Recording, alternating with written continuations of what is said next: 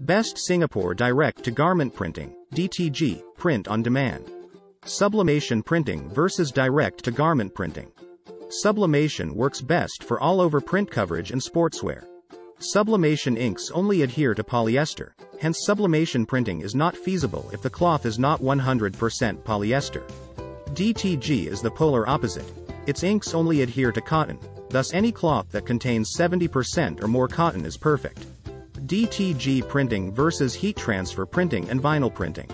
Non-cotton products such as coats, jackets, purses, and sportswear are best suited for heat transfers and vinyl printing. In certain cases, heat transfers are the ideal printing process to use.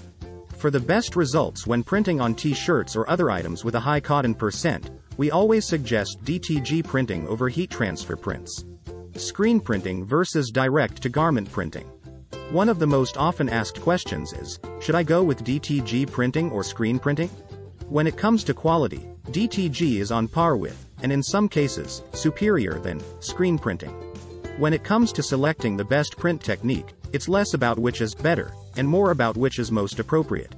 Many print businesses may assert that one approach is superior than another, but this is usually because they only offer one alternative. The truth is that they serve distinct objectives and perform well in different conditions. Screen printing may be the ideal solution for you if you're mass printing in huge quantities with a basic design. However, if you need lesser quantities or have a really complicated design, DTG is most likely the best solution.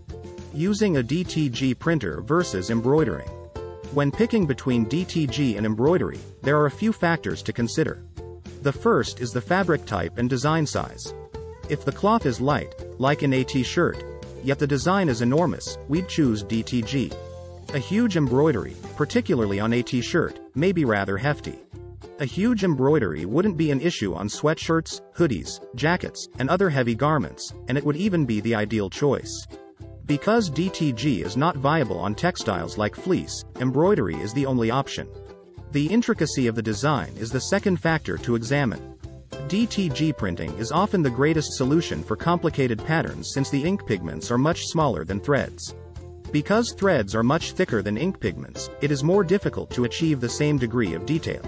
So, if you have tiny, detailed text or design components, DTG is probably the best option. Personal preference is the last thing to consider. In other cases, such as a basic pattern on a cotton sweatshirt, both print and embroidery might be appropriate. In that scenario, it's totally up to you, since both decorating techniques are really durable and look wonderful.